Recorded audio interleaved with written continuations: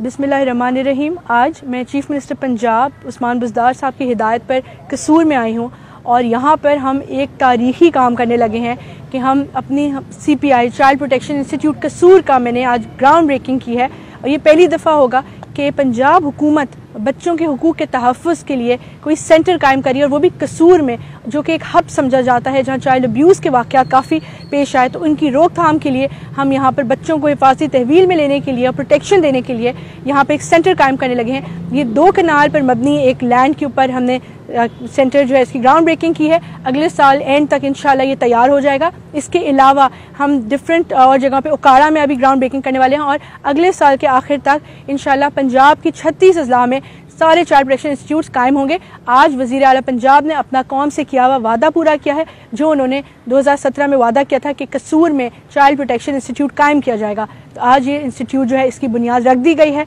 और इन यहाँ पर हम देखेंगे कि ऐसे वाक़ात में भी कमी आएगी और यहाँ पर आगाही में अपनी जो नंबर है helpline number one one two one उसको भी फैलाने में ये बड़ा मज़बूत किरदार अदा करेगा।